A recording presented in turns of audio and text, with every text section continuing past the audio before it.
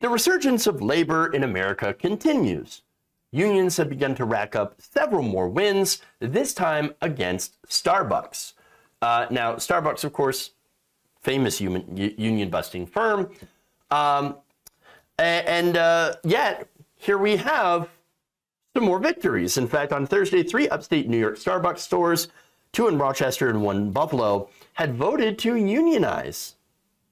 In Rochester, workers at a new Starbucks in the Whole Foods Plaza on Monroe Avenue voted 10 to 3 for a union, while the tally was 13 to 11 at the company's Mount Hope location. Meanwhile, in Buffalo, the vote was 18 to 1 in favor of forming a union at the downtown Starbucks in the corner of Delaware and Chippewa, making that location the sixth local branch of the coffee chain to unionize, according to Spectrum News. Rochester uh, organizer Haley Fagan said in a statement, quote, we are overjoyed. This is what it's all about. Partners truly becoming partners. Throughout this process, there's been nothing I've come to appreciate more than every partner standing next to me every partner so courageously advocating for themselves. So uh, she refers to partners, by the way. Uh, there, there's this weird thing at some jobs where your partners, associates, family members, even in some cases, I, I kid you not. Um, but generally, the more endearing of a term they tend to use, the less likely they treat you like that. I'm just saying. So, but in this case, a union partner, well, I, again, partners standing with partners to form a union, I think that's the best thing uh, that we can see. Uh, all right, so now, um, this follows uh, uh other victories uh, at other companies, for example, Amazon. Amazon created a union in one of its warehouses. That's fantastic. Uh, and it also follows union victories and strikes in places across the country. in fact, many of these strikes like at John Deere, uh, Kellogg's. You've uh, uh, right now concrete workers in Seattle that are currently on strike. Um, many of these strikes, many of these union actions have netted significant concessions from the company. Companies that have seen, uh, you know, their their uh, profit margins in the billions of dollars. Now, these have uh, netted significant bumps in pay and benefits for these workers, better working conditions, I think that's fantastic. And understand that that's what people are asking for. Now, these unionization pushes have led Starbucks to bring back union buster Howard Schultz for the third time as the CEO. Uh, in fact, here's what he said recently about the unionization efforts all over the country. Here's where it gets a little sensitive because I've been coached a little bit, but I do want to talk about something pretty serious.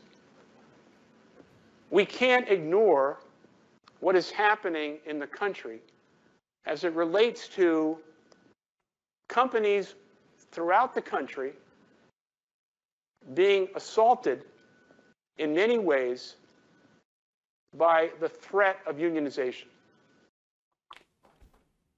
You might have, you probably should have been coached a little bit better than that.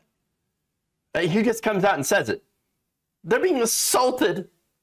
Assaulted by the threat of a labor union. Oh my God.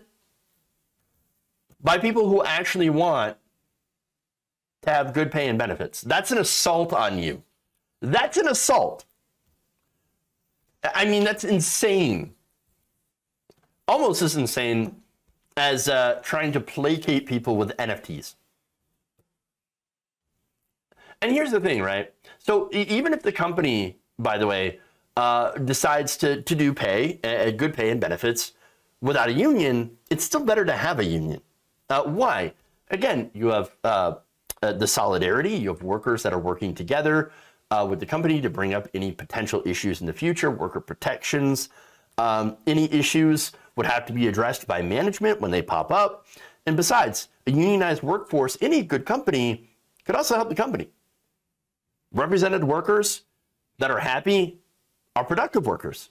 There's less turnover, less uh, need to train new people for those positions, more opportunities for growth, uh, because they're not just focused on the short term, they're focused on the long term.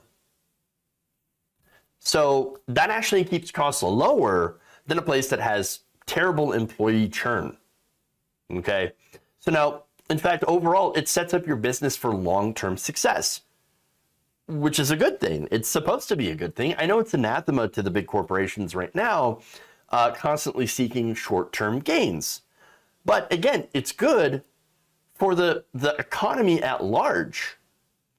Again, the labor union, the labor movement itself is a positive thing. It built the middle class in this country. It made people, regular people, actually be able to buy things, to afford things, to live good lives. We need that in this country more than ever. But of course, after union busting, decades and decades of union busting, skyrocketing corporate profits, and going in the absolute wrong direction when it comes to workers' rights, thankfully, we now have labor coming back. And I know there's a long way to go for labor. They're still incredibly underrepresented in the uh, uh, workforce overall.